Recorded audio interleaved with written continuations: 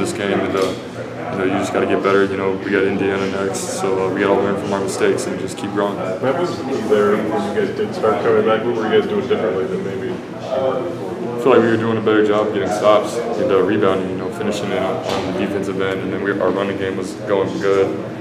You know, Cash was leading the break, and Aaron was uh, he had a couple of big plays. Nick, we were getting inside to Nick. You know, uh, we just we didn't do a lot of that in the first half. We didn't stick to our roots, and uh, that kind of caught up to bite us in the butt. Was the break something that they were able to take away for you know the most part in the first half? Uh, I mean, I wouldn't say they took it away. I just think we were running. They, they were rebounding so well and uh, crashing. You know, they just played tougher than us, and they were rebounding better. And we were a little slow to get out on the break.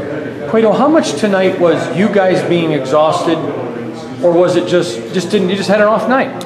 Uh, I mean, I can't really use that word exhausted in these types of games. You know, these are big games. You know, you you you, you look at these games and you're a little kid. You know, you can't get tired. You know, these a CBS game, and uh, you know these are big games that you look forward to playing your whole life. And uh, you know, you can't even think about being exhausted. And uh, so, I mean, you can get tired after the game, but during the game you can't. Is do you take a different approach at all, whether it's off days or anything, when you know you're going to be playing this many minutes? Do you do things to keep yourself fresh?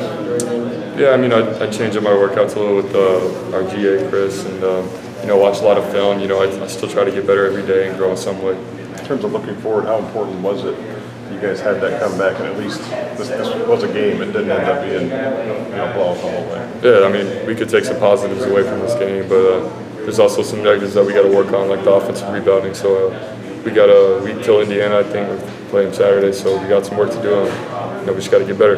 What was the, what, real quick, what was the call when they called that foul on Edwards? Would Yeah. you say I, it's tough to see from where we're at. I was just heat of the moment, more mad at myself for having my hand out. You know, I was really undisciplined on my part, and uh, he just made a smart play and got a foul on me. Uh, Ruff made the right call.